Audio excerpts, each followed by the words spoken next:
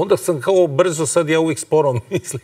brzo zaboravljam, ali sad sam kao, setio se da u stvari u pop kulturi dualizam je neophodan, još od Beatlesa i Stonesi, uh, Blur i Oasis, pa imamo Tony Blair, Laburisti, Blur, Blair, te e, igre, tako da je i sad e, ovaj dualizam normalan, a i mi kao u rock, kao da li bolje smak ili bjelo dugme, kao ko bolje svira gitaru, točak, drži visoko, Goran Bregović drži nisko, pa ne može da svira kod i tako to je, dualizam je uvek bio, a kod nas e, u posljednje vreme s društvenim mrežama sa većim brojem medijima dolazimo do učitavanja